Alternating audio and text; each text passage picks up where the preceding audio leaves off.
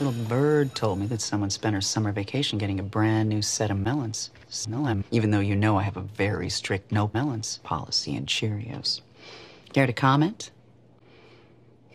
I just. What would possess a person your age to get a melon job? Melon, melon. You don't even know what your body's gonna look like. It's an insult to nature and completely distracting. And Boobs McGee, ding ding. I can't take my eyes off them. I'm actually talking to them right now.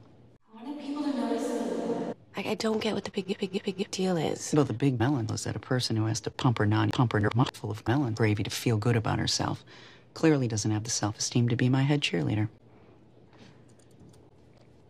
Ding ding. Quinn will replace you. Oh, what? And boobs. Ding ding. McGee, you're demoted to the bottom of the pyramid.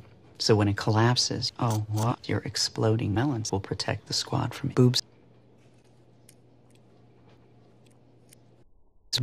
Now take your juicy, vine ripened chest fruit.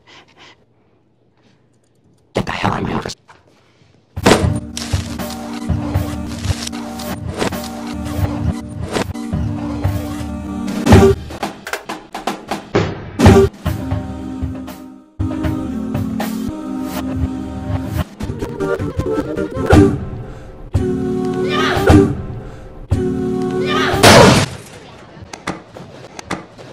did this to me. You told Crystal you got a boob. Did